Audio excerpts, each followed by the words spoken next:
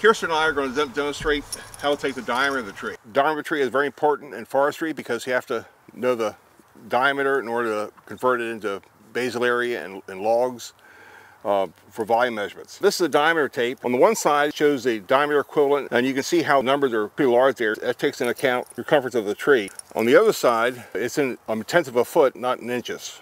Diameter of the tree is always taken at DBH or diameter breast height, which equals four and a half feet. 1.37 meters. You want to measure up exactly four and a half feet.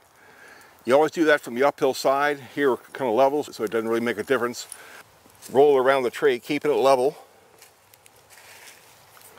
We're going to read our measurement right off here. Right above where zero is, I have 30.2 inches. On the test, we'll be expecting you to measure to a tenth of an inch. Sometimes we need to know the board foot volume of a tree. We can determine that by looking at the Biltmore stick tree scale. You can look at the diameter, and here we have 30 inches.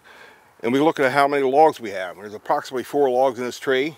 And go down 30, we have 1,198 feet, so almost 1,200 board feet of lumber in this tree.